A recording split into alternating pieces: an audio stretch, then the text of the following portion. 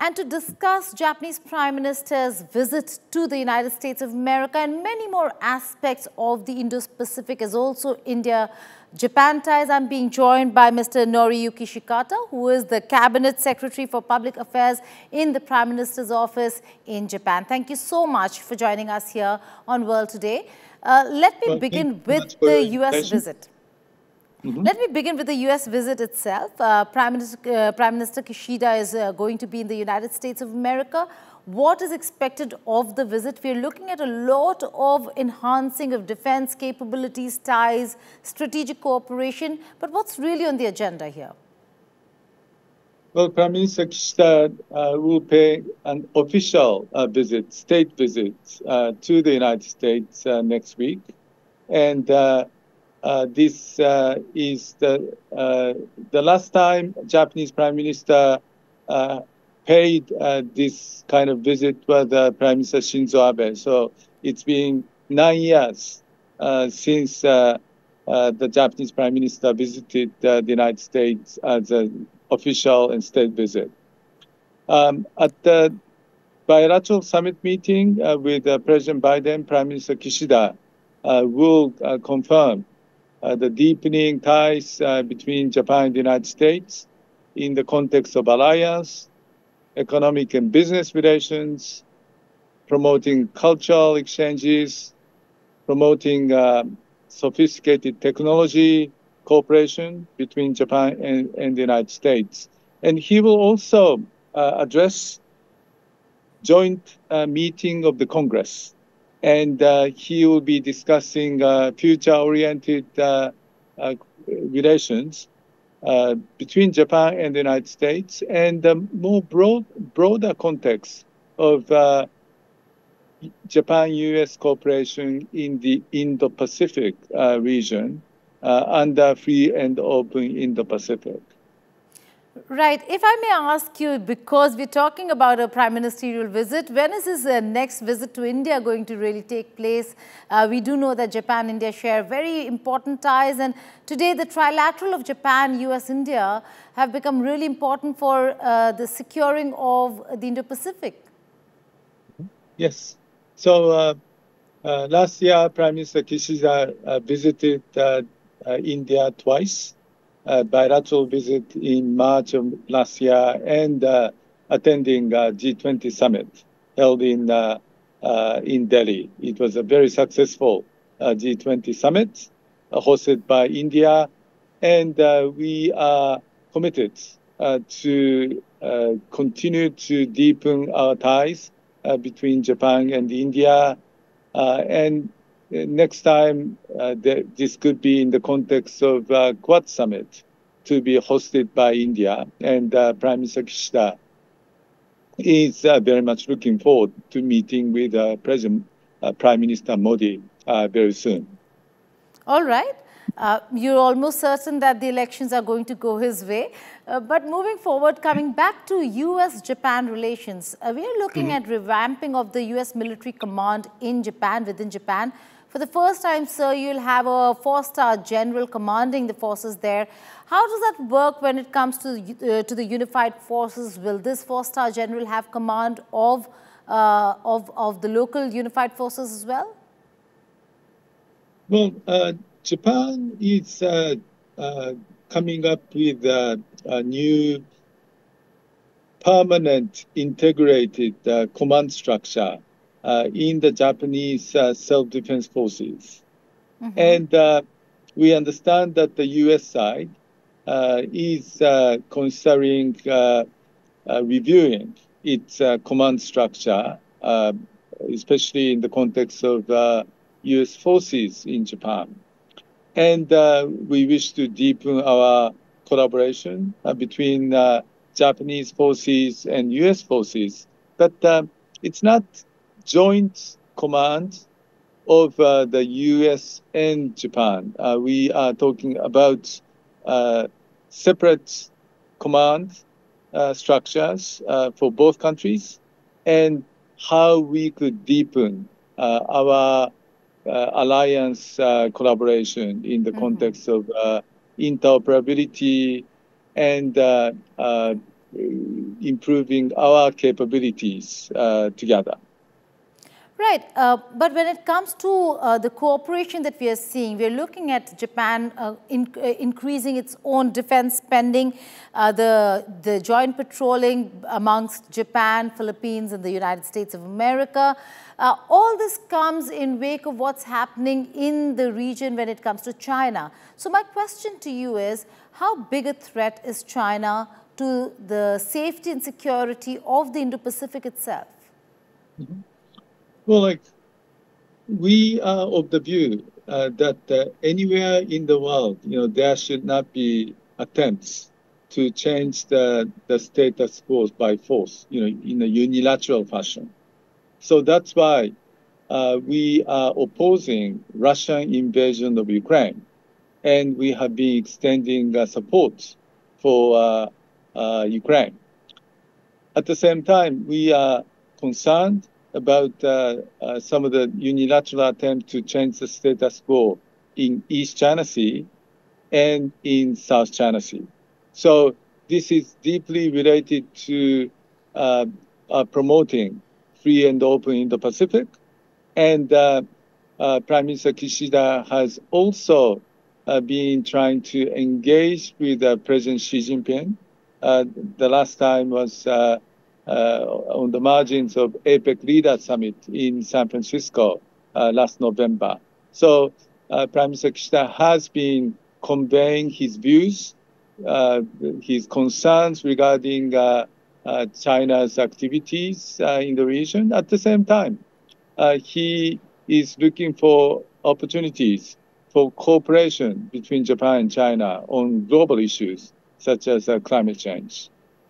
Right, uh, but like you mentioned, when it comes to the Russia-Ukraine war, or for that matter, the Israel-Hamas war, we see uh, U.S. Uh, quite stretched, that there is, uh, there is a lot of focus on these wars, particularly now the Israel-Hamas war.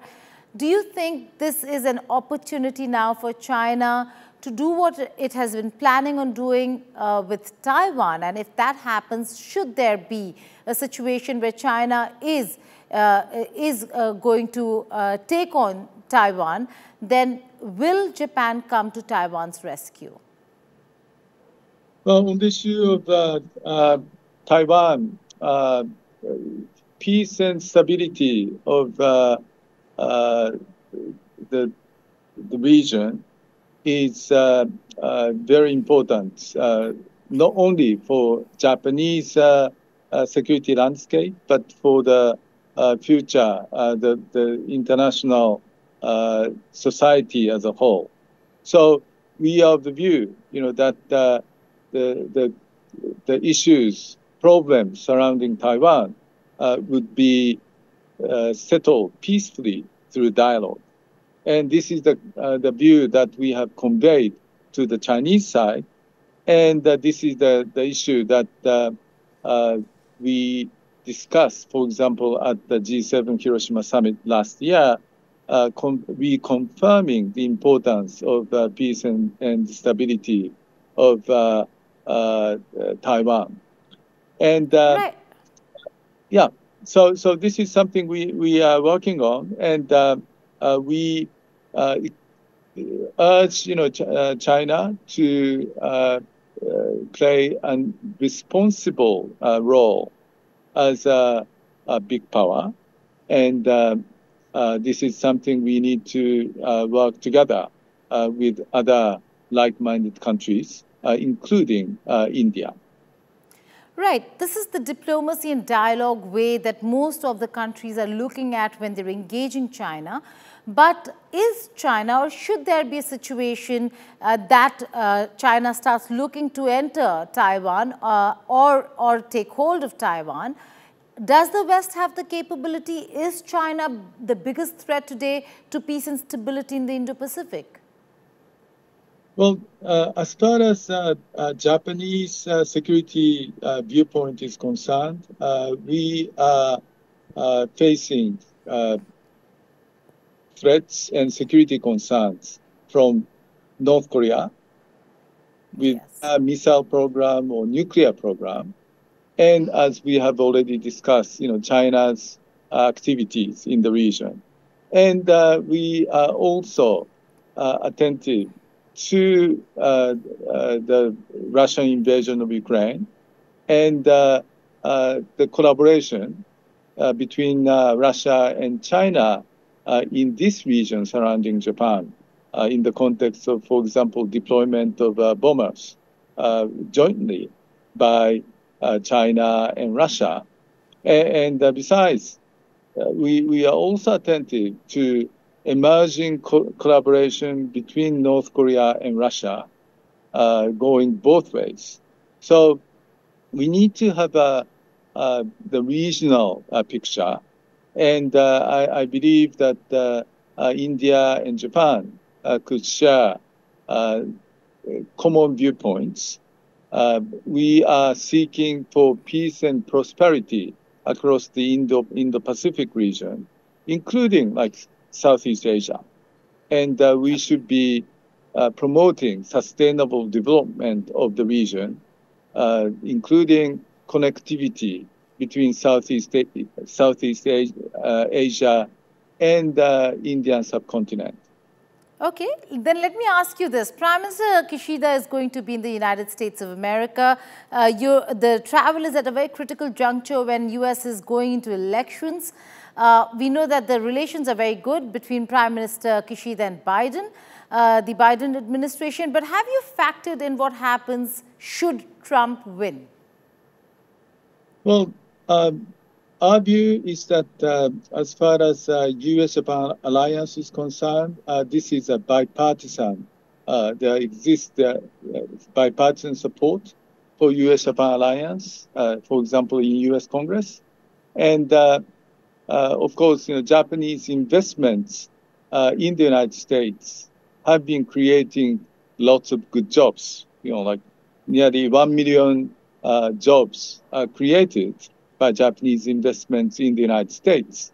So uh, we think, you know, that no matter you know what happens uh, to uh, the U.S. political landscape, our alliance relations would be uh, would continue to deepen. And uh, uh, we need to be attentive to promoting free and open Indo-Pacific with other like-minded countries, such as India.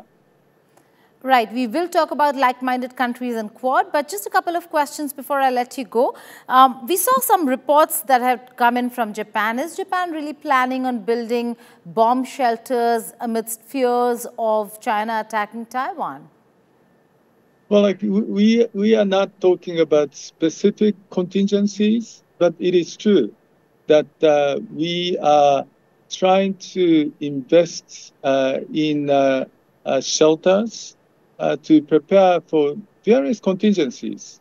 And um, uh, we are collaborating with our defense authorities or more civilian uh, authorities, ministries, uh, try to be prepared uh, for uh, various contingencies. And you know, we also suffer from natural disasters, and it, it is important for, for us to be prepared. Right. And before I let you go, um, on the question of Quad, given that Prime Minister Kishida, uh, Kishida, would be visiting India for the Quad summit, what, how do you see the role of Quad really play out and India's role when it comes to securing the Indo-Pacific as also bilateral relations between India and Japan? Of course, you know, Quad has been uh, discussing not only you know national security uh, issues. You know, we we have been discussing issues like uh, supply chain resilience and um, um, more or less economic security issues or health security issues. And uh, we think that it is very important uh, to promote, for example, connectivity uh, across the sub Indian subcontinent and free uh, connecting with ASEAN countries. And these are these kind of uh, regional connectivity, uh, which would uh, assure economic security, uh, would be very important agenda item. And bilaterally, of course, as you are aware, Japan has been supporting India's development of high-speed rail, Uh, Japanese uh, Shinkansen bullet trains, and uh, when they are connected with the like subway or metro, like such as Delhi Metro, that yes. would be conducive to green transformation and addressing uh, uh, issues like air pollution uh, in major mega cities in India. And what we are hoping is Japanese models of smart cities will be introduced in many of Indian mega cities. Right. Quickly before I go, uh, Mr. Shikata, do you see India play a major role as a global leader, particularly when it comes to the United Nations Security Council and a seat at the permanent table? Sure. So uh, Japan and India uh, have been closely uh, cooperating uh, to promote the UN reform, including Security Council. So uh, we are disappointed at the, the current state of affairs surrounding uh, UN Security Council uh, after Russian invasion of, of, of, Ukraine. The, the permanent uh, UN Security Council member uh, violating international law is appalling. So uh, there, there is obviously need uh, Uh, for UN reform, and uh, Japan and India are the partners uh, who can closely collaborate uh, to uh, promote the reform of the United Nations. Right. On that note, Mr. Shikata, thank you so much for joining us here on India Today. Thank you very much.